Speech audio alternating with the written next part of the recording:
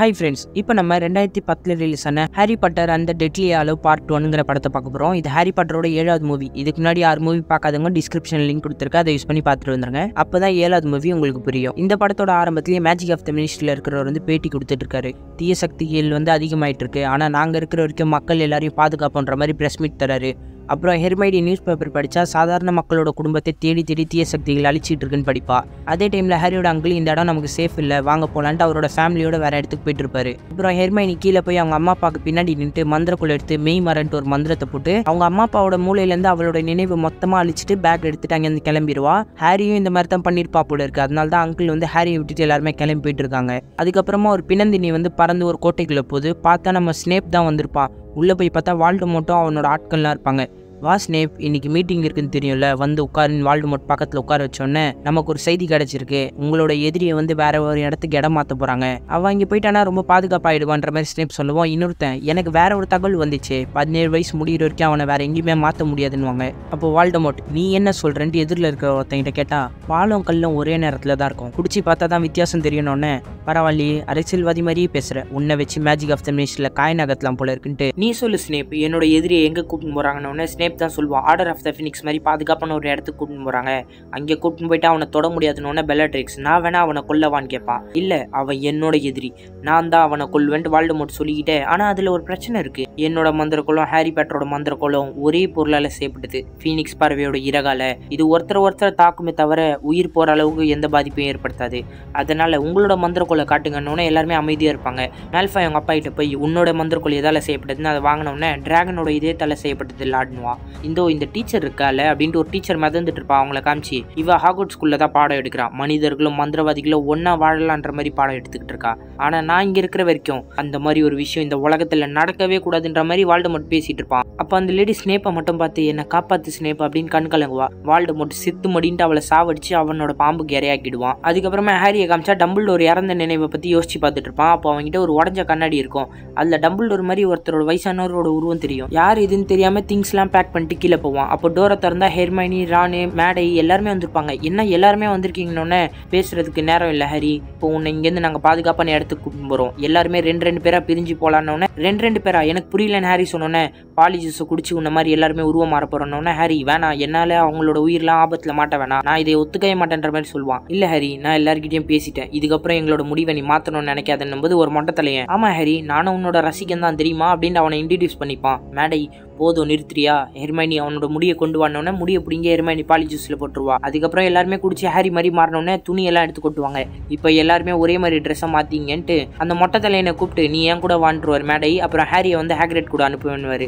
ஹேக்ரேட் இதை கேட்ட உடனே சின்ன குழந்தையா இருக்கும்போது நான் தான் தூக்கிட்டு வந்தேன் ஹாரி பாதுகாப்பா? இப்போ கூட எனக்கு அந்த பொறுப்பு கிடைச்சிருக்கிறத நினச்சி நான் ரொம்ப சந்தோஷப்படுறேன்னு ஹேக்ரேட் சொன்னோன்னே மேடை போதும் நிறுத்தி தொலைங்கன்ட்டு எல்லாருமே ஒன்றா பறந்து போவாங்க. அப்புறம் பிணந்தினிகள் எல்லாருமே வந்து ஏகப்பட்ட ஹாரி இருக்கிறதுனால யாரும் உண்மையான ஹாரின்னு தெரியாமல் தாக்கிட்டு இருப்பாங்க. ஒரே ஒரு பிணந்தினி ஹேக்ரேட்டை தாக்கணும்னு அவன் மயங்கிடுவான். ஹேக்ரேட் ஏஞ்சிரு ஏஞ்சிருன்னு ஹாரியை பைக்கை பறக்க வச்சு மேலே எடுத்துகிட்டு போயிட்டு இருப்பான் அப்போ ஹாரியோட ஆந்த தான் ஹாரியை வந்து ஒரு பிணந்தினி தாக்க வரும். அது வந்து குறுக்க புந்து அது செத்துரும். அப்புறம் அந்த பிணந்தினியும் பறந்து போயிடும். ஹாரி இங்கே என்ன நடக்குதுன்னு புரியாத போது திடீர்னு அவனுக்கு தழும்பு வலிக்குங்க. பார்த்தா வாழ்ட மட்டும் நேரடியாக வந்து ஹாரி கூட மோதுவான் பாருங்களேன். ஹாரியோட மந்திரக்குள்ள வாழ்ட மட்டும் மந்திரக்குள்ள நேருக்கு நேர் மோதிக்கும். வாழ்ட மட்டோட மந்திரக்குள்ளே உடஞ்சிரும். டக்குன்னு ஹேக்ரேட் அங்கேருந்து முழிச்சு வேகமாக பைக் எடுத்துட்டு கிளம்பி வந்துருவான். வாழ்ட மட்டும் செம்ம கோத்தில் கத்திட்டு இருப்பான் அதே இடத்துல நின்றுட்டு அப்புறம் ஹாரியும் ஹேக்ரேட்டோ ரானோட வீட்டுக்கு வந்துருவாங்க. எல்லாருமே வந்துட்டாங்களான்னு கேட்டோம்னா இல்ல நீங்க தான் முதல்ல வந்திருக்கீங்கன்னு உள்ள கொண்டு போவா. அப்புறம் ரானோட ரெண்டு அண்ணன்களை ஒரு அண்ணனுக்கு அடிபட்டு பயங்கர டேமேஜோட வருவான்.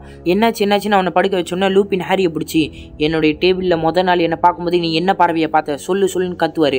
அவன் ஒரு பேரை சொன்னோன்னே ஓகே இங்கே நம்ம வரத்துக்குள்ளே நம்மள மாதிரி யாராவது உருமாறி கூட வந்திருக்கலாம். அதனால தான் நான் கிராஸ் செக் பண்ணேன்ட்டு வெளியே ஒருத்தர் வந்துட்டு இருப்பாரு மேஜிக் ஆஃப் த மினிஸ்ட்ரியில் இருக்கிறவர். அவரை வழி மறைச்சோன்னே லூப்பின் கிட்ட இவர் கேட்பாரு நீ சொல்லு டம்பிள் டோர் இறக்கிறதுக்கு முன்னாடி நம்ம என்ன சொன்னார் லூப்பின் நம்புது? ஹாரி தான் நம்மளோட ஒரே நம்பிக்கை. அவனை முழுசாக நம்புங்கன்ற மாதிரி சொன்னார் அப்படின்வான் அப்புறம் எல்லாருமே வந்துருவாங்க இங்கே சரி வாங்க உள்ளே போகலான்ட்டு ட்வின்ஸ் அண்ணன்களில் ஒருத்தனுக்கு அடிபட்டிருக்கோம்ல அவன் போய் என்னாச்சு இவனுக்குன்னு பார்த்துட்டு இருந்தா? எனக்கு காது குத்திட்டாங்கடா. சின்ன வயசுலேருந்தே காது குத்திலையா? இப்போ தான் எனக்கு குத்தி இருக்காங்க அப்படின்னு சொல்லுவான் பாருங்களேன். அடிப்பட்டு கூட உனக்கு திமிர் அடங்கலை பார்த்தியா அப்படின்ட்டு அவனும் சொல்லிட்டு சிரிச்சிட்டு இருப்பாங்க. இதை பார்த்து ஹாரி தான் கொஞ்சம் வருத்தப்பட்டுன்னு இருப்பான். அப்போ ஒருத்தன் வந்து மேடை இறந்துட்டாரு. அவன் கூட உருமாறி போனவன் அங்கேருந்து தப்பிச்சு ஓடிட்டான். மேடைக்கு இப்படி நடந்திருக்க கூடாதுன்னு சொன்னோன்னே ஹாரி ரொம்ப வருத்தப்படுவான். அப்புறம் நைட்டு தூங்கும்போது ஹாரியோட கனவுல வாழ்டு மட்டும் வருவான். ஹாரிக்கு முத முதல்ல மந்திரக்கோள் கொடுத்தவரை மிரட்டிட்டு இருப்பான். எங்க இருக்கு அது? சொல்லு சொல்லுன்னு மிரட்டுற மாதிரி கனவு வரும். அப்புறம் ஹாரி ஏஞ்சோடனே அவனோட திங்ஸ் எல்லாம் பேக் பண்ணிட்டு மந்திரக்கோள் எடுத்துட்டு போயிட்டு இருப்பான். பின்னாடியே ரான் வந்துட்டு இந்த மாதிரி வேலை பார்ப்பேன்னு தெரியும் ஹரி. எங்கே போகிற நில்லுன்னொன்னே எனக்காக யாருமே சாக வேணான்ட்டு ஹரி கோமா போவான். உனக்காக சாவறாங்க நீ நினச்சிட்டு இருக்கியா? இல்லவே இல்லை. அந்த தீய சக்திகளின் தலைவனை தேர்ந்தெடுக்கப்பட்டவனால தான் கொல்ல முடியும்.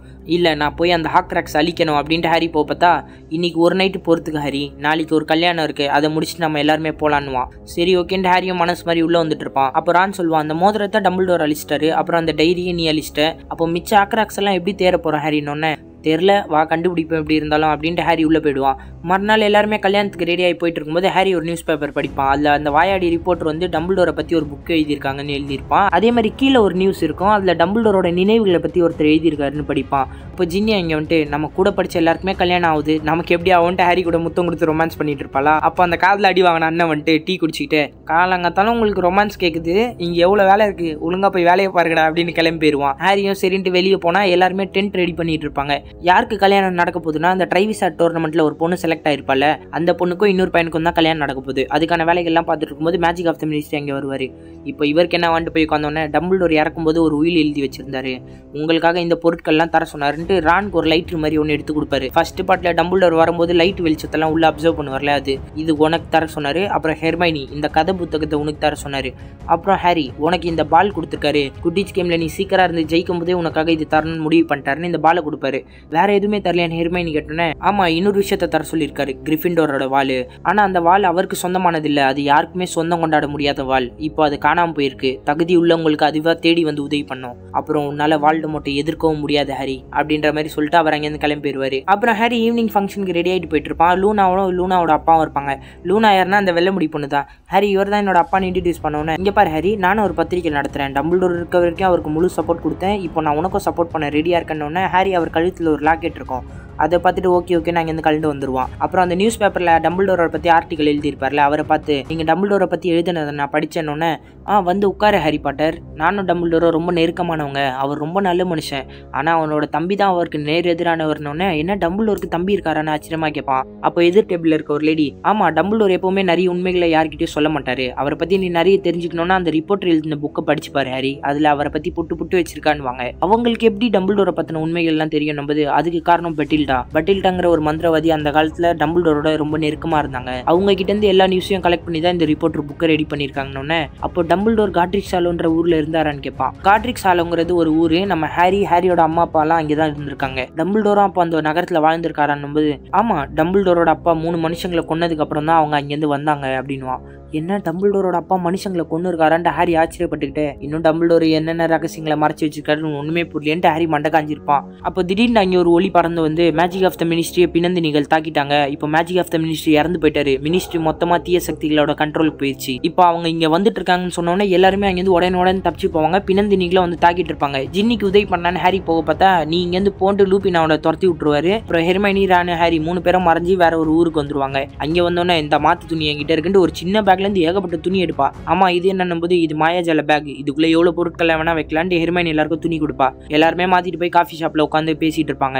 என்னதான் இங்க நடக்குதுன்னு ஒன்றும் புரியல. பதினேழு வயசு முடியாத வரைக்கும் நம்மளை கண்காணிக்கிறதுலேருந்து பின் வாங்க மாட்டாங்கன்னு பேசிட்டே இருப்பாங்க. அப்போ திடீர்னு நிறைய பேர் வந்து ஹாரியை தாக்குவாங்க பாருங்களேன். எல்லாருமே மறைஞ்சிப்பாங்க கடைசியில எல்லாருமே அவங்கள தாக்கிட்டு ஹெர்மைனி வந்து அவங்களோட நினைவை முழுசா அழிச்சிட்டு அங்கேருந்து போயிருவா. வெளியே போகும்போது ஐயோ நான் உனக்காக கேக் ரெடி பண்ணி வச்சிருந்தேன் ஹரி உன்னோட பிறந்த நாளுக்கு நானும் ஜினியும் சர்ப்ரைஸ் பண்ணலான்ட்டு எல்லாமே வீணா போச்சுன்னு வருத்தப்படுவா. அடி பாவி அங்க கொஞ்சம் விட்டுருந்தா நம்ம செத்துருப்போம். உயிரோட வந்தோமே நினைச்சு சந்தோஷப்படுவியா? கேக் போச்சுன்னு வருத்தப்பட்டுக்கிறேன் சரி வாங்க போலான்ட்டு ஹாரி வந்து ஆர்டர் ஆஃப் த ஃபினிக்ஸ் கூட்டுமாவா அங்க போனா ஒரு வயசான உருவம் வந்து புகை மாதிரி வந்து பயமுறுத்தும் பாருங்களேன். எல்லாருமே பயந்துருவாங்க. ஹெர்மாயினி மந்திரம் போட்டு உள்ள யாருமே இல்லை அப்படின்னு சொன்னோன்னே எல்லாருமே போய் நைட் ரெஸ்ட் எடுத்துட்டு இருப்பாங்க. அப்புறம் மறுபடியும் ஹாரியோட கனவுல வாழ்டு மட்டும் வருவான். அந்த ஆளை போட்டு டார்ச்சர் பண்ணிட்டு அது எங்க இருக்கு? சொல்லு சொல்லுன்ட்டு அந்த மந்திரக்குள்ள விற்கிறவரை போட்டு டார்ச்சர் பண்ணிட்டு இருப்பான். அப்புறம் ஹாரி தூக்கத்துல இருந்து எஞ்சிட்டு இங்கே என்ன நடக்குதுன்னே ஒன்றுமே புரியலேன்ட்டு அந்த வீட்டை ஃபுல்லாக சுற்றி பார்த்துட்டு சிரியஸோட வீட்டை திறப்பான். அப்போ ரான் உடனே ஹரி இங்கே வா வான்னு சத்தம் போடுவான்.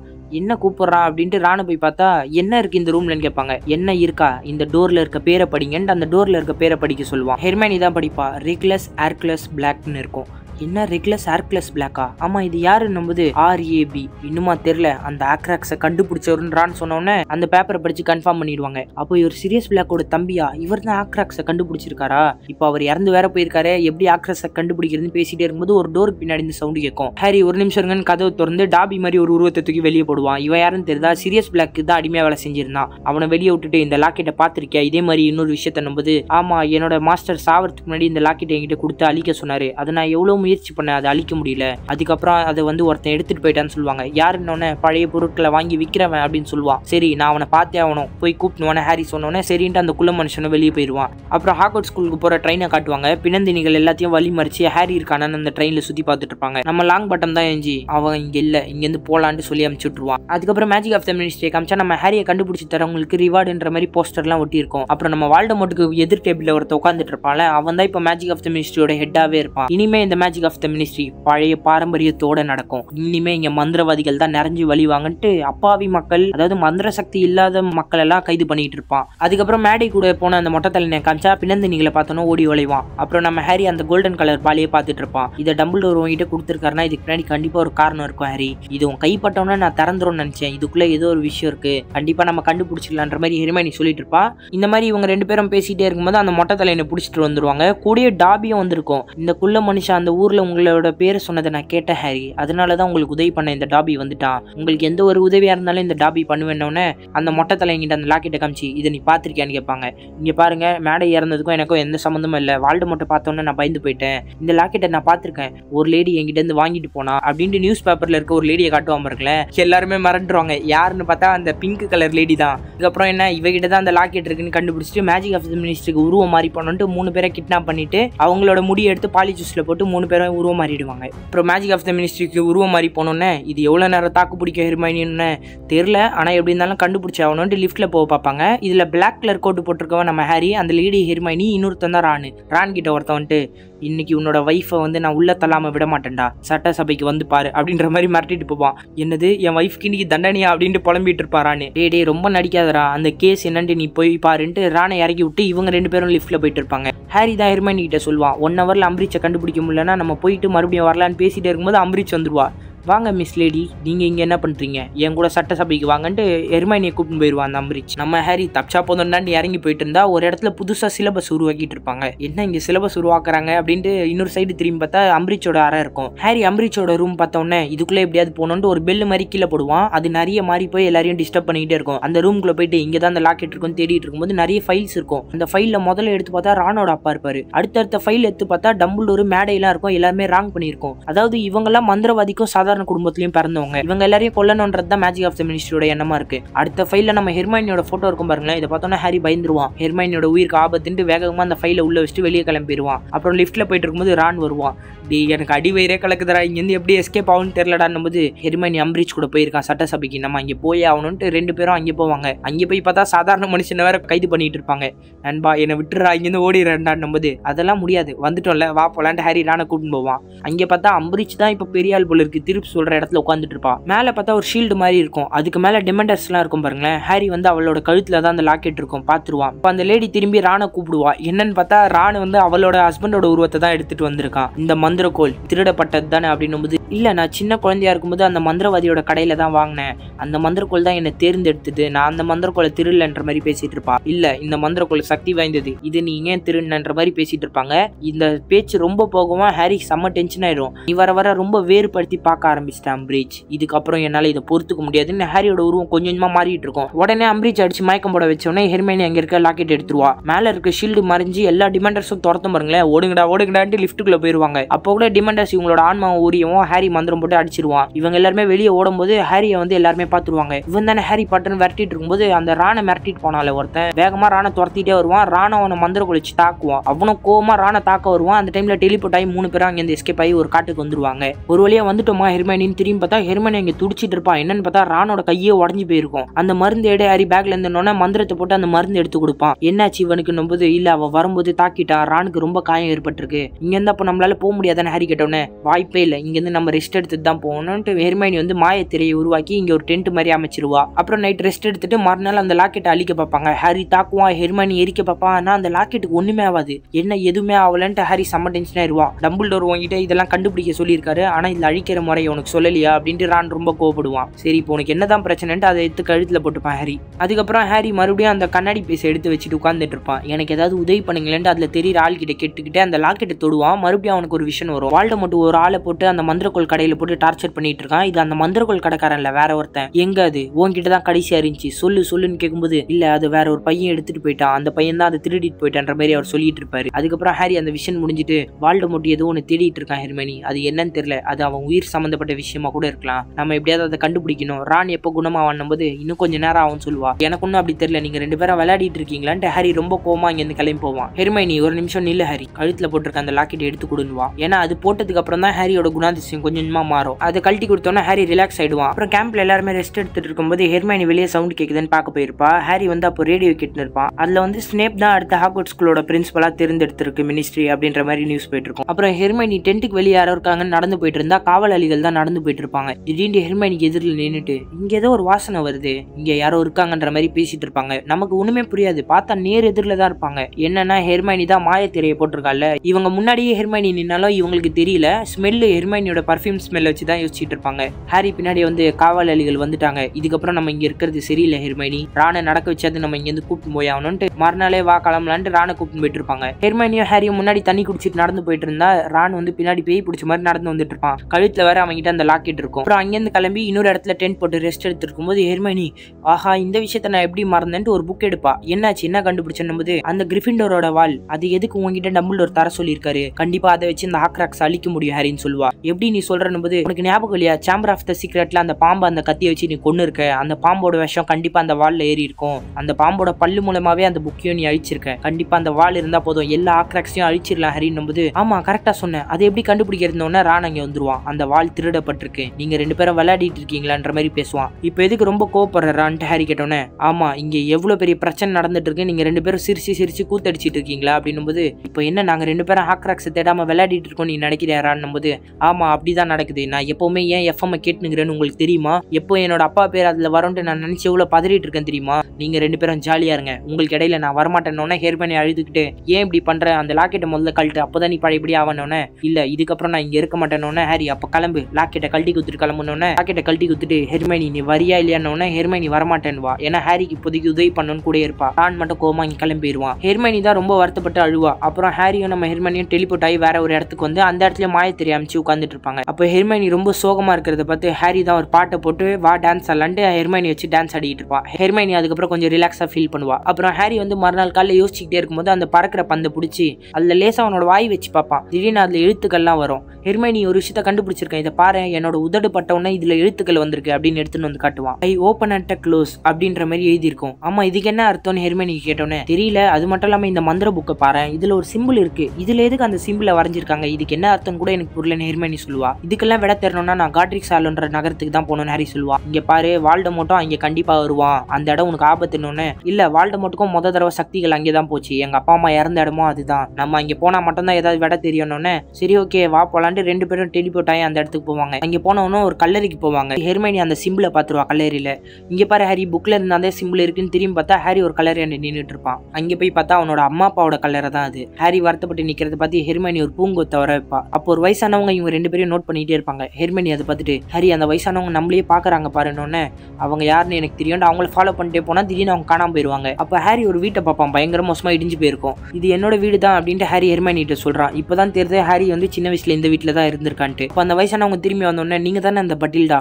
டம்பிள்டோரை பற்றி உங்களுக்கு எல்லா விஷயமும் தெரியும்ல? அப்படின்ட்டு அவங்களோட வீட்டுக்கு போவான். ஆனால் அந்த வயசானவங்க எதுவுமே பேச மாட்டாங்க. அப்புறம் ஹாரி அங்கே ஒரு ஃபோட்டோவை பார்ப்பான். இதுதான் ஹாரியோட விஷனில் மந்திரக்குள்ள ஒருத்தன் எடுத்து தப்பிச்சு போகிற மாதிரி இருக்கும். இது யார் பட்டில்டான்னு கேட்பான் அதுக்கும் அவங்க பதிலே சொல்ல மாட்டாங்க. மேலே ஒரு ரூமுக்கு போயிட்டு இருப்பாங்க. ஹாரியும் பின்னாடியே போவான். இது ஒன்றும் சரியா பண்ணுற மாதிரி தெரியலன்ட்டு ஹெர்மைனி கீழே தேடிட்டு இருப்பான் நம்ம ஹாரி வந்து அந்த வயசானவங்களுக்கு பின்னாடியே போயிருப்பான். இந்த ஹெர்மைனி கீழே பார்த்துட்டு இருக்கும்போது ஒரு புக் இருக்கும். டம்பிள்டோரை பற்றி அந்த ரிப்போர்ட் எழுதின புக் இருக்கும். அதை பார்த்துட்டு இருப்பான். இங்கே ஹாரி மேலே போனோன்னே அந்த லாக்கெட்டையே அந்த பாட்டி உத்து பார்த்துட்டு இருப்பாங்க. ஹாரியை பார்த்தா ஒரு ஆல்பம் எடுத்து பார்த்துட்டு இருப்பான். திடீர்னு அந்த பாட்டி உருவம் மாறி வாழ்ட மொட்டிக்கிட்டு இருந்த பாம்பா மாறிடுவா பாருங்களேன். அப்பதான் ஹெர்மனி உண்மையான பாட்டி அங்கே கீழே செத்து போயிருக்கிறத பாப்பா. ஹரி ஆபத்துட்டு வேகமா மேல ஓடி வந்தா இந்த பாம்பு கூட பயங்கரமா சண்டை போட்டுன்னு இருப்பான். அந்த பாம்பு மேல வரும்போது மந்திரக்குள்ள வச்சு ஹெர்மனி தாக்கிட்டு நம்ம இங்கிருந்து எப்படியாவது போனோம்னு ரெண்டு பேரும் டெலிபோர்ட் ஆகி அங்கிருந்து தப்பிச்சு போயிருவாங்க. அப்புறம் மறுநாள் காலைல பார்த்தா ஹெர்மனி ஒரு புக் படிச்சிட்டு இருப்பா. ஹாரி வருவான். ஹாரி அந்த போட்டோல இருந்த பையன் யாருன்னு கேட்டல? அவனோட பேர் தான் கிரிண்டில் வேர்ல்ட் அப்படின்ட்டு ஒரு போட்டோவை எடுத்து காட்டுவா. இதை வந்து ஹாரி பார்த்துட்டு இவனை தான் நான் என்னோட விஷன்ல பார்த்தேன். ஒரு மந்திரக்குள்ள கடையிலேருந்து திருடிட்டு போன மாதிரி பார்த்தேன் அப்படின்னு சொல்லுவான். இந்த பேரை வந்து ஞாபகம் வச்சிங்க. இந்த பேர்ல இருக்க கேரக்டர் இந்த படத்துல டம்மி தான். ஆனால் ஹாரி பாட்டருக்கு ப்ரீக்குவலாக ஒரு மூவி வந்திருக்கு. அதில் வந்து கிரிண்டில் வேர்ல்டுங்கிற கேரக்டரை வெயிட்டாக காமிச்சிருப்பாங்க. அப்புறம் ஹாரி என்னோட மந்திரக்குள் எங்கே ஹெர்மைனின்னு கேட்கும்போது இல்லை அந்த பாம்பு கூட சண்டை போடும்போது உன்னோட மந்திரக்குள் உடஞ்சி போச்சு ஹாரின்னு காட்டுவா. சரி விட்டு தள்ளு. நீ போய் தூங்கு. நான் நைட்டு காவல் காக்குறேன் ஹாரி காவல் காத்துட்டு இருப்பான். அப்போ அந்த கண்ணாடியை எடுத்து மறுபடியும் பார்த்துக்கிட்டு எனக்கு உதவி செய்யுங்களேன்ட்டு அதில் இருக்கிற உருவத்துக்கிட்ட கேட்டுன்னு இருக்கும்போது திடீர்னு அங்கே ஒரு மான் வரும் பாருங்களேன். இதை பார்த்துட்டு ஹாரி என்னோட அம்மா மாதிரியே இருக்கு அப்படின்ட்டு அந்த மான் பின்னாடியே போயிட்டு இருப்பான் அந்த மான் ஒரு ஏரி உறைஞ்சு போயிருக்கும். அந்த இடத்தாண்ட நின்றுட்டு அங்கேருந்து ஒரு ஒளி வடிவத்தில் ஆகி மறைஞ்சு போயிடும். என்ன இங்கே நிற்குதுன்னு கீழே பார்த்தா அங்கே கிரிஃபிண்டோரோட வால் இருக்குங்க. இதை பார்த்தோன்னே ஹாரிக்கு பயங்கர ஆச்சரியமாயிடும். மந்திரத்தை போட்டு அந்த வாழை வெளியே எடுக்க பார்த்தா மந்திரம் அந்த வால் மேலே வேலையை செய்யாது. இது வேலைக்காவதுன்னு ஐஸை உடச்சிட்டு ஹாரி ட்ரெஸ்ஸை கழட்டிட்டு உள்ளே எகிரி குதிப்பான். அந்த வாழை எடுக்கலன்னு அவன் பக்கத்தில் போகும்போது அந்த லாக்கெட்டுக்கு தெரியும் போல இருக்குங்க. இதை வச்சு தான் என்ன அழிக்க முடியும்ட்டு ஹாரியை உள்ளே போக விடாம அந்த லாக்கெட்டை ஹாரியை பிடிச்சி இழுத்துட்டு இருக்கும் பாருங்களேன். கழுத்தை நெரிச்சு ஹாரி கிட்டத்தட்ட சாவ வேண்டியது. திடீர்னு யாரோ அந்த தண்ணிக்குள்ள உதிச்சு அந்த வாழை எடுத்துட்டு ஹாரியை வெளியே கொண்டு வந்து போட்டுறாங்க. யாருன்னு பார்த்தா ரான் தாங்க வந்திருப்பான். ஹாரி நான் தான் வந்தேன்னுவா. ரான் நீயா நீ தான் அந்த மான் உருவத்துல வந்து என்ன ஹாரி கேட்டோன்னே இல்ல நான் வரல. நீ தான் அந்த மான் உருவத்துல வந்து எனக்கு வழிகாட்டேன் நான் நினைச்சேன் நம்புது. இல்ல ரான் என்னுடைய மான் வந்து கொம்பு வச்சிருக்கோம். இது கொம்பு இல்லாத மான் நம்புது. ஆமா நான் பார்த்துருக்கேன். சரி ரான் நான் பாம்பு பாஷை பேசி இந்த லாக்கெட்டை திறக்கிறேன். எப்படியாவது இந்த லாக்கெட்டை உடச்சிருந்தோன்னே சரி ஓகேன்மா அந்த பாம்பு பாஷை அவன் பேசினோன்னே லாக்கெட் ஓப்பன் ஆகுங்க. அதுலேருந்து தீய சக்தி வந்து ரானை அப்படியே கன்ஃபியூஸ் பண்ணும். உன்னை வேண்டா விருப்பாதான் அவன் குடும்பத்தில் பெற்றுக்கிட்டாங்கன்னு சொல்லும். அப்புறம் ஹாரியோட உருவமும் ஹெர்மைனோட உருவமும் வந்து நீ என்ன பெரிய ஆள் நினச்சிட்டு இருக்கியா ரான் ஹாரி அளவுக்கு நீ ஒன்றுமே இல்லை. இவன் எப்பேற்பட்ட சக்திசாலி தெரியுமா? இவன் கால் தூசி கூட நீ வரமாட்டேன்ற மாதிரி ஹெர்மைனியோட உருவ சொல்லும். இதை வந்து ஹாரி பார்த்துட்டு ரான் அது வந்து உன்னை கன்ஃபியூஸ் பண்ணுது. நீ அதை கேட்காத கேட்காதன்னொன்னே ரானுக்கு திடீர்னு ஒரு கோவம் வந்து கத்தி வச்சு அந்த லாக்கெட்டே உடச்சு தள்ளிடுவான் அப்புறம் மறுநாள் காலில் வந்தோடனே ஹாரி எங்க போயிருந்தேன்னு கேட்பான் எவ்வளவு விஷயம் நடந்துச்சு தெரியுமா? உனக்கு ஒரு சர்ப்ரைஸ் இருக்குன்னு ரானை காமிச்சோன்னே இப்போ எதுக்குடா இங்க வந்துட்டு ஹெர்மனி போட்டு சம கோவத்தில் அடிப்பாங்க? இதுவும் ஒரு வகையான பாசம் தானே? நீ எதுக்கு வந்த? என்னை சந்தேகப்பட்டு போன வந்தானே நீ நம்புது? இல்லை நான் கொஞ்சம் லேட்டாக தான் தப்பாக புரிஞ்சுக்கிட்டேன். நான் இங்கேருந்து போன உடனே வரணும்னு தான் நினச்சேன். ஆனால் எனக்கு வழி தெரில ஆனால் அப்போ தான் எனக்கு அந்த லைட்ரு உதவி பண்ணிச்சு. அது ஒளியை மட்டும்தான் எடுத்துக்கணும்னு நினச்சேன். இல்லை என்னுடைய மனசு கூட அதால் மாற்ற முடிஞ்சுது. அதுலேருந்து எனக்கு ஒரு குரல் கேட்டுச்சு ஹெர்மனி. அது உன்னோட குரல் தான். என்கிட்ட வந்துடுறான்னு கேட்டுச்சு எனக்குன்னு வா இதை கேட்டோன்னே ஹேர்மானிக்கும் லேசாக மனசு மாறிடும். அப்புறம் ராணோ ஹரியும் உட்காந்து பேசிட்டு இருப்பாங்க. என்னை மன்னிச்சிரு ஹரி நான் அவங்க ரெண்டு பேரும் சந்தேகப்பட்டிருக்கக்கூடாது நான் இங்கேருந்து போவேன். மறுபடியும் இந்த மாதிரி வருவேன்ட்டு டம்புள்டோருக்கு தெரியும் போல இருக்கு. அதனால தான் அந்த லைட்டர் கொடுத்துருக்காருல? அப்படின்ட்டு நான் வரும்போது காவலாளிகிட்ட இருந்து ஒரு மந்திரக்குள்ளே சுட்டுட்டு வந்தேன். இது வேணா உனக்கு யூஸ் ஆதான்னு பாருன்னும் போது ஹாரியும் மந்திரம் போட்டு பார்த்தா பெருசாக எரியும். ஹாரி நான் ஒரு முக்கியமான விஷயத்த கண்டுபிடிச்சிருக்கேன்ட்டு புக்கில் வந்து ஒரு லெட்டர் இருக்கும். அதையும் பிரிண்ட் அவுட் எடுத்திருப்பாங்க. இது வந்து டபுள் டோர் கிரிண்டில் வேர்ல்டுக்கு எழுதின ஒரு லெட்ரு இதில் கையெழுத்துக்கு பக்கத்தில் பாரு இந்த சிம்பிள் இருக்குன்னு அந்த சிம்பிளை காட்டுவா. இதை பார்த்தோன்னா ஹாரி லூனாவோட அப்பா ஃபங்க்ஷனுக்கு வரும்போது இதே சிம்பிள் மாதிரி ஒரு விஷயத்த போட்டிருந்தாரு. அவர்கிட்ட கேட்டால் கண்டிப்பாக தெரியும்ட்டு லூனாவோட அப்பாவை பார்க்கறதுக்கு எல்லாருமே கிளம்பி போயிட்டு இருப்பாங்க அப்போ கிளம்பி போயிட்டு இருக்கும்போது ஹாரி ஹெர்மைனி கிட்ட என்ன ரான் மேலே பயங்கர கோமா இருக்க? அவன் மேலே இருக்க லவ் குறைஞ்சிருச்சான்னு கேட்டோன்னே அது எப்படி குறையும்? அதுதான் குறைஞ்சி தொலைய மாட்டேங்குது அப்படின்ட்டு ஹெர்மனி புலம்பிக்கிட்டே வருவா ஹாரிக்கிட்ட அப்புறம் லூனாவோட வீட்டுக்கு போய் அவரோட அப்பாவை பார்த்து இந்த சிம்பிள் என்னன்னு இந்த சிம்பிள் தான் டெத்லி ஹாலோன்னு வாரு டெத்லி ஹாலோவா அப்படின்னா என்னன்னு கேட்டோன்னே அவர் உடனே உங்களுக்கு மரணத்தை வென்ற மூன்று அண்ணன் தம்பிகளோட கதையை தெரியாதான்னொன்னே ஹெர்மனி எனக்கு தெரியும் அப்படின்ட்டு ஒரு புக் எடுத்து படிக்க ஆரம்பிப்பா. அந்த டைமில் அவர் வந்து அவரோட வீட்டுக்கு வெளியே ஜன்னல் போய் நிற்பார் அங்கேருந்து ஒரு பறவை மட்டும் பறந்து போகும் இவரை பார்த்த உடனே. அதே டைமில் ஹெர்மானியும் அந்த புக்கை படிச்சுட்டு இருப்பா. இந்த கதை கொஞ்சம் சுவாரஸ்யமாக போகும். மூன்று அண்ணன் தம்பிங்க ஒரு காட்டை கிராஸ் பண்ணி போகும்போது ஒரு நதியை பார்த்தாங்க. அதை கிராஸ் பண்ண அவங்களோட மந்திர சக்தியை பயன்படுத்தி ஒரு பாலத்தை உருவாக்கி போக பார்த்தாங்க. இதை பார்த்த மரணம் ரொம்பவே கோவப்பட்டுச்சு. இது வரைக்கும் இங்கே வந்தவங்க எல்லாருமே இந்த ஏரியில் விழுந்து இறந்தாங்க. இவங்க மரணத்தையே ஜெயிக்க பார்க்குறாங்கன்ட்டு அவங்க முன்னாடி வந்து உங்களுக்கு நான் வரம் தரேன்ட்டு மூன்று பேருக்கும் ஒவ்வொரு வரம் கொடுத்தது. மொத அண்ணன் தான் தான் பெரிய ஆளுன்ற கர்வம் கொண்டவன். அதனால யாராலையும் அழிக்க முடியாத சக்தி வாய்ந்த ஒரு மந்திரக்குலை கேட்டான். மரணம் கொடுத்தது. ரெண்டாவது சகோதரன் நினைச்சதை நடத்திக்கணும்னு நினைக்கிறாள் அவன் இறந்தவங்கள உயிரோட கொண்டு வரதுக்கு ஒரு பொருளை கேட்டான். அதுவும் ஒரு கல்லை உருவாக்கி கொடுத்தது. ஆனால் மூன்றாவது சகோதரன் ரொம்பவே புத்திசாலியானவன். நான் இங்கேருந்து எந்த பிரச்சனையும் இல்லாமல் இங்கேருந்து போனால் மட்டும் போதும்ன அதுவும் ஒரு மாய கம்பளத்தை கொடுத்தது. இவங்க மூன்று பேரும் மூன்று பொருட்களையும் வாங்கிட்டு வேற வேற வழியாக போயிட்டாங்க. முதல் சகோதரன் தன்னை எதிர்த்த எல்லாரையுமே அவன் கொன்னான். ஆனா இதை பார்த்த ஒருத்தன் இரவு நேரத்துல அவனை கொண்டு அவனோட மந்திர கொலை எடுத்துக்கிட்டான் ரெண்டாவது சகோதரன் இறந்து போன காதலியை உயிரோட கொண்டு வந்து அவ கூட வாழணும்னு நினைச்சா.